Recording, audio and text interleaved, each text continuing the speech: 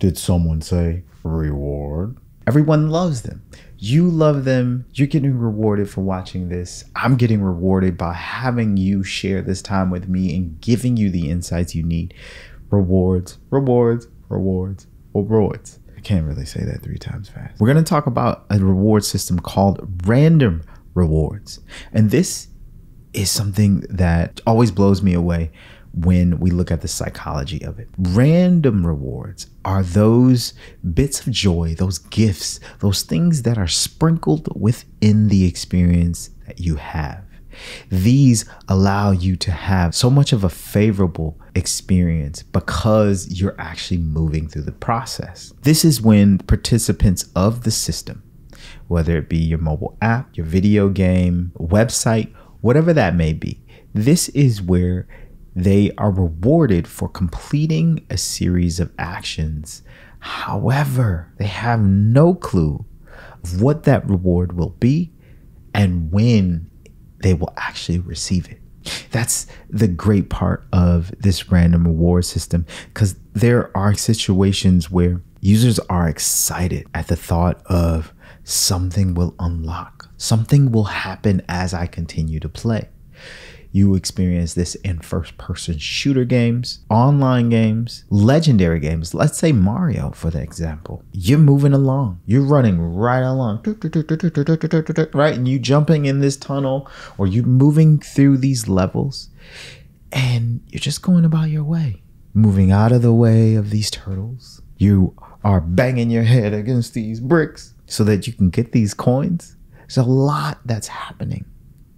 And as you're experiencing the game for what it is, you start to then understand that certain things surface. You receive a flower that pops up out of here, which then allows you to start spitting out these fireballs. Bloop, bloop, bloop, I don't mean hot breath either. I mean, these are actual fireballs, but you know, I digress. You start to understand the value in you just exploring, you just experiencing things for what they are. There's so many things that are hidden. It's like a surprise gift at the end. More on the psychology side of it, the idea that these elements are so unpredictable. They can't really pinpoint when they'll receive it and what it will be. It keeps users hooked and engaged to understand the the idea of discovery. That's where the gaming mechanics happen. We've used the example of Mario Brothers or any game for that matter, but let's take that to your app. Let's use it as an example of reference. You're creating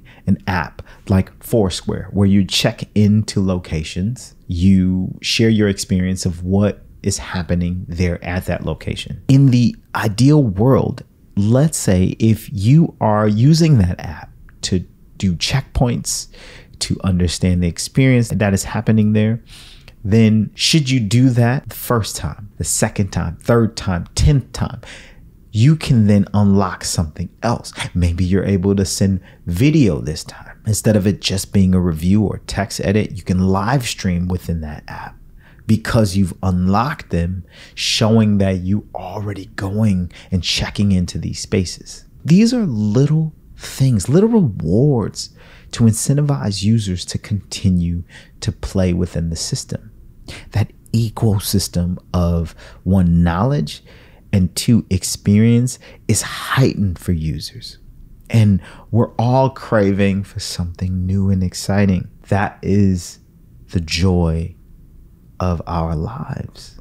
As we commit to it and we continue to engage, that becomes the heightened experience of enjoyment. If you could take that one thing, that random reward sort of ideology, how? Comment below. How would you incorporate it in your product? How would you want to see it integrated? You can take a look at some of the products that you actually use, some of the apps that you use, your banking app.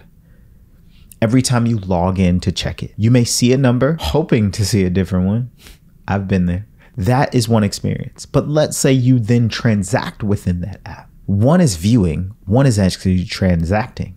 Whether you send Zelles to and fro, make a withdrawal or deposit, upload a check, you take a snapshot and, and do all of these things. The goal is to then reward you for increased engagement within the application. That's where gamification comes into play. I have a couple of quick tips about gamification and how you can integrate that into your products.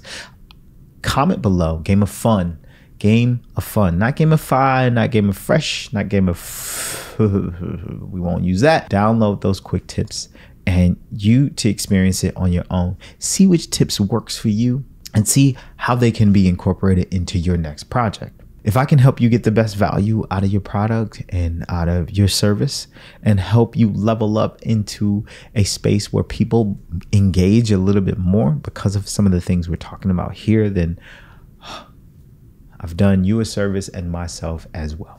Don't forget to subscribe because we'll release a lot more videos talking about this topic of gamification and helping you level up. But until then, consider sharing it with someone you Phil can get the value out of it too. Your life has color, so make sure to design it that way, and we'll gamify it in the process.